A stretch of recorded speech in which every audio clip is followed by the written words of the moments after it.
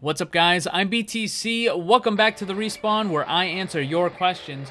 Today we're going to be talking about Battle Royale in Overwatch, Sombra in the meta, and a whole lot more.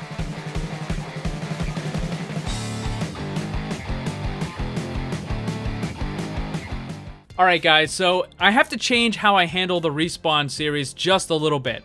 If you're new, I created the Respawn series because I would always get lots of questions, but I couldn't make a full video on every single question. So I'd grab a bunch of them, put them together, and then I would make a Respawn video.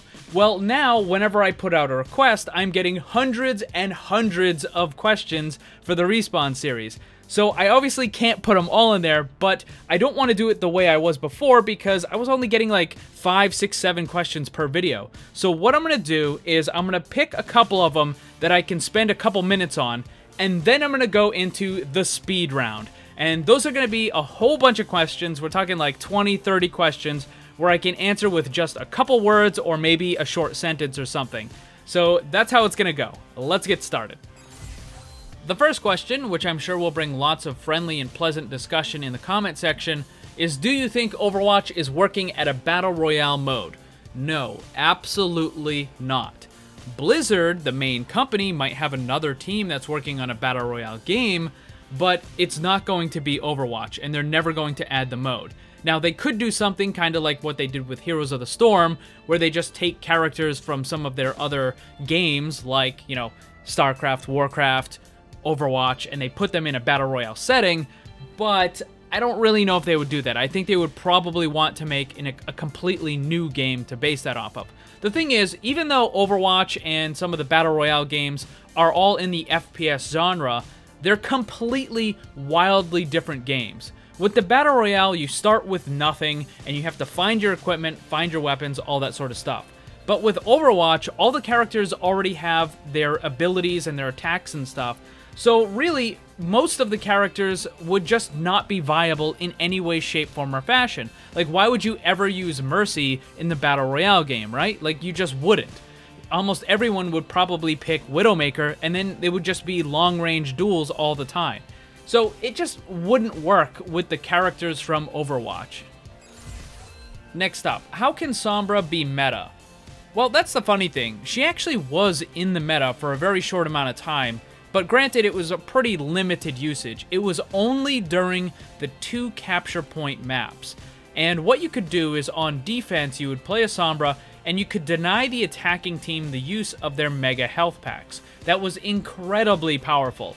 But then they changed Mercy. She got a rework, and she just became the best support character in the entire game, and Sombra was just thrown to the side and never picked up again. With Sombra's recent changes, it's kind of iffy. I know some people say that it's terrible, some people think it's amazing. I think we're just to have to wait and see a little bit.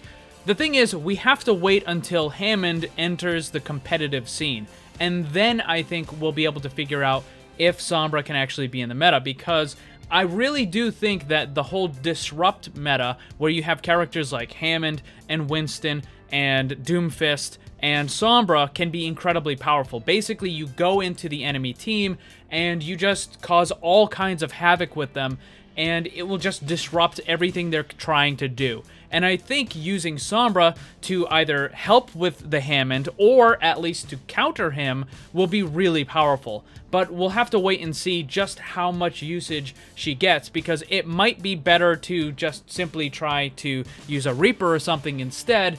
Again, we'll have to wait and see. But I, I think it's definitely a possibility that she could come back. And now onto the speed round. Is Reaper's Shadow Step useless? No, it's actually quite decent, it's just way too loud and way too bright. They need to tone that down quite a bit. And before anybody says anything about certain character skins not making noises when you use it, that's not true, I already myth busted it. Do you think he needs a rework? Also no. Do you think Wrecking Ball will change the game forever? In terms of mechanics, no, because he's basically just another dive character, and we've had dive characters for a while. In terms of potential new wackiness for the new characters, then yes. I mean, if they can get away with a genetically engineered, super intelligent hamster, then they can pretty much add whatever they want to the game. Why is Hammond so big? Space magic, or possibly the genetic engineering. But I'm gonna go with space magic. Do you make your videos alone? Well, I mean, I have my cats in the room with me all the time, but they really don't help too much. Do you work for Blizzard? No. This is kind of a running joke. If I did work for Blizzard, their patch notes would be amazing, and the characters would be much better balanced. Are you planning to do other videos except for Overwatch? If you're asking if I'm going to turn this into a Fortnite channel, then the answer is absolutely no. I tried the game for a couple of days, I just didn't really care for it all that much. I don't really like the whole Battle Royale style of gameplay anyways. But if you want more content from me that's not Overwatch, you can go back because I used to do a ton of Minecraft videos and Ark Survival Evolved. There's tons of videos and playlists on my channel. You can watch that if you want. What do you think about the ability to exchange places if it's for support? So, this is an ability that's in Dota. It's actually incredibly powerful. I believe it's Vengeful Spirit who uses it. But I don't think they would ever add it to Overwatch just because it's way too easy to grief or to troll your teammates with it. Do you think Widowmaker is in a good place? What changes would I make? So Widowmaker is in a pretty good spot right now. The only thing I would probably change is maybe making the Venom Mine a little bit better, because right now it's still kind of meh. Do you think Winston's ultimate needs to be changed? No, it's one of the best zoning, disruption, and stalling tools in the entire game.